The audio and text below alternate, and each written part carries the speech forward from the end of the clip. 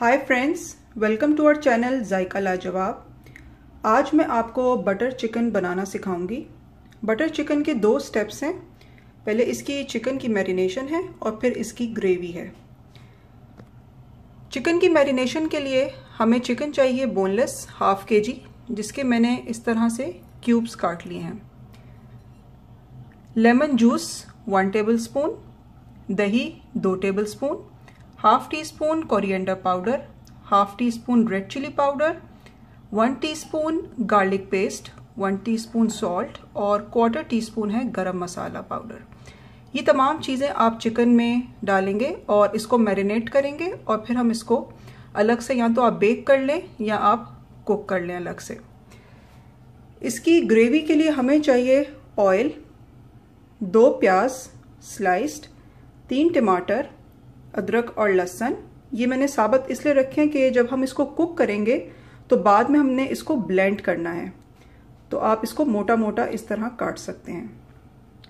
मसालों में ज़ीरा, साबत one teaspoon, coriander powder one teaspoon. ये है लाल मिर्चों का पाउडर जो कि रंग वाली मिर्चें होती हैं। इससे बटर चिकन का जो कलर है वो बहुत अच्छा आता है। ये है वन टीस्पून देगी लाल मिर्च। आठ से दस काजू कैशू नट्स दो से तीन ग्रीन चिलीज कसूरी मेथी वन टीस्पून और आखिर में हमें बट, बटर चाहिए होगा sugar one teaspoon quarter teaspoon garam masala powder और क्रीम चाहिए होगी हमें। तो चलिए शुरू करते हैं। सबसे पहले चिकन को हम मैरिनेट कर लेंगे।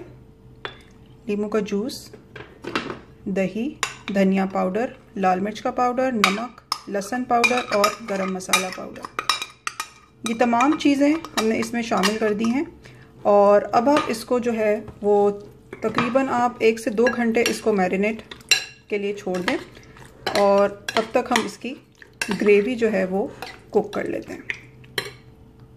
ग्रेवी के लिए हमने अपने एक पैन में क्वार्टर कप ऑयल डाला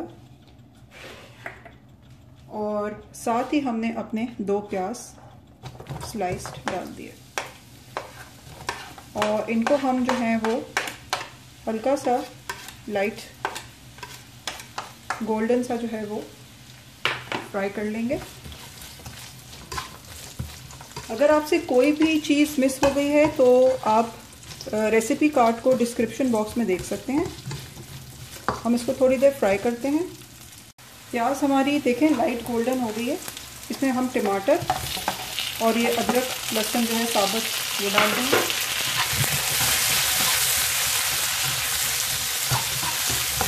इसके साथ ही हम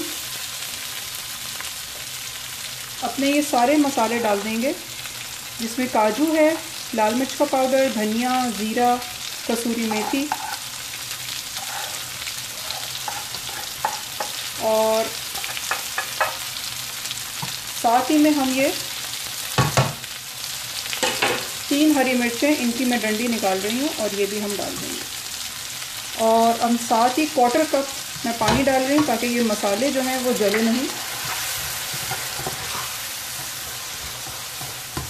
अब इस ग्रेवी को आपने हल्की आँच पे तकरीबन ये 25 से 30 मिनट ये कुक होती है। इतनी देर कुक करते हैं कि ये टमाटर बहुत सॉफ्ट से हो जाएँ और आपका जो है वो बहुत अच्छा सा एक मसाला जो है तैयार हो जाए। हम इसको ढक के 25 से 30 मिनट मैं इसको कुक करूँगी हल्की आँच पे। ये देखें, इस तरह ये स्लो कुक होगी। आँच मैंने बिल्कुल हल्की कर दी है और अब हम इसको ढक के 25 से 30 मिनट कुक करेंगे। 20 से 25 मिनट हमने इसको कुक किया था और अब इसकी ये शक्ल है। देखें, आप ऑयल ऊपर आ गया है। अब हम इसको रूम टेम्परेचर पे कूल डाउन करके ब्लेंड करेंगे। अब हम इसको ब्लेंड करेंगे। अब आपने अपने ब्लेंडेड मिक्सचर को एक छन्नी में डालना है और इसको छान लेना है। इसको छानना बहुत ज़रूरी है ताकि हमारी जो ग्रेवी है वो बिल्कुल सिल्की और स्मूथ बने। तो हम इसको इस छन्नी की मदद से सारी ग्रेवी जो है वो छान लेंगे। चिकन को मैंने स्कीवर्स पे लगा के मैं इसको बेक करूँगी 10 मिनट के लिए, तकरीबन 220 डिग्री सेंटीग्रेड पे। और अगर आप बेक नहीं करना चाहते तो आप इसको बेशक फ्राइंग पैन में कर लें या ग्रिल पैन पे ग्रिल कर लें, ये आपकी मर्ज़ी है। चिकन हमारा बेक होके रेडी है। इसको हम स्कीवर से जो है वो निकाल देंगे। और इसके बाद फिर हम फाइनल इसको अपनी ग्रेवी में शामिल करेंगे। ये हमारे चिकन पीसेस रेडी हैं। अब हमने जिस पैन में अपना ग्रेवी बनाई थी, उसी पैन को हम यूज़ करेंगे और उसमें डाल देंगे बटर तकरीबन आप तीन चार टेबल स्पून डाल सकते हैं और इसको मेल्ट करते हैं। बटर हमारा मेल्ट हो गया। इसमें मैं डालूँगी वन टीस्पून ये है पेपरिका पाउडर है, ये सिर्फ़ कलर के लिए है। इसमें बिल्कुल भी मिर्च नहीं होती है।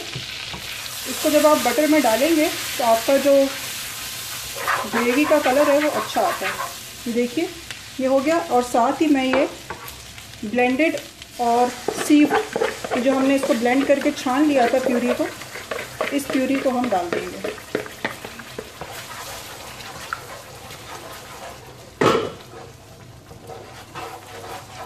देखिए, और अब हम इसको थोड़ी देर कुक करेंगे। थोड़ा सा मैं साथ ही पानी डाल दूँगी, ताकि जितना मसाला इस पर था, वो भी इसमें आ जाए। अब हम इसमें अपने ये कुक चिकन के पीसेस डालेंगे। और इसको इतनी देर अभी हमने मीडियम आँच पे कुक करना है कि इसका जो ऑयल और बटर है, वो बाहर ऊज आउट होने लगे। ये देखें, अभी हम इसको ढक के जो है वो कुक करेंगे। इस वक्त आप अपना सॉल्ट भी चेक कर सकते हैं। अगर आपको सॉल्ट कम लग रहा है तो आप डाल सकते हैं और। यहाँ पर मैं शुगर डालूँगी वन टीस्पून और गरम मसाला पाउडर जाएगा, तकरीबन क्वार्टर से हाफ़ टी स्पून जितना आप पसंद करते हैं। और इसको हम मिक्स करेंगे। और इसको हम कुक करेंगे जब तक कि इसका ऑयल ऊपर नहीं आ जाता। जब भी पकेगा ये देखिए, इसमें हल्का हल्का ऑयल जो है वो ऊपर आ रहा है। आप, मैंने थोड़ा सा इसमें क्वार्टर कप पानी भी थोड़ा सा डाला था और अब ये इसकी शक्ल इस तरह है।